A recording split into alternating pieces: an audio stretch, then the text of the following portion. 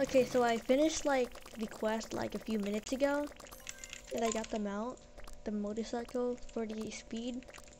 We're almost at the mega speed, which, if you bought that for like the speed, I feel sorry for you because it's about to be useless in like two updates. And then this is the motorcycle. It leaves a red trail, and you can also hear like the sound, and it's really cool. Yeah, I'm just gonna do this raid.